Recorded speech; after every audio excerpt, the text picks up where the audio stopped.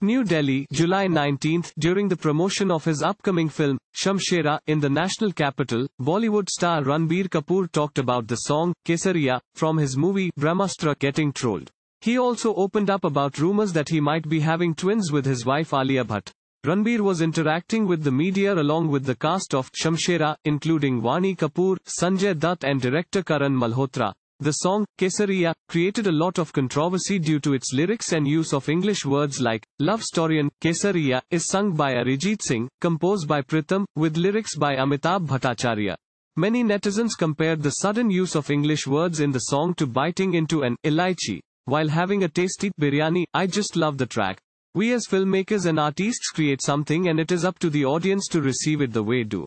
And in today's time, all this trolling and memes are part of life and as long as people enjoy Pritam's music and Arijit Singh's singing, all is fine, he said. On rumors of having twins, he replied, Don't create a controversy. They asked me to state three things. Two truths and a lie. Now I can't reveal what is the truth and what is the lie. During a recent interview with Film Companion, Ranbir had shared two truths and a lie. I am having twins. I am going to be part of a very big mythological film. I am taking along from work.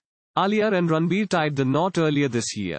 Recently, they announced that they are expecting their first child. Produced by Aditya Chopra under Yash Raj Films and directed by Karan Malhotra, Shamshera features Ranbir in a double role with Sanjay Dutt as the antagonist alongside Vani Kapoor, Ronit Roy, Saurabh Shukla and Ashutosh Rana. The film is scheduled to release in theaters on July 22. Thank you for watching.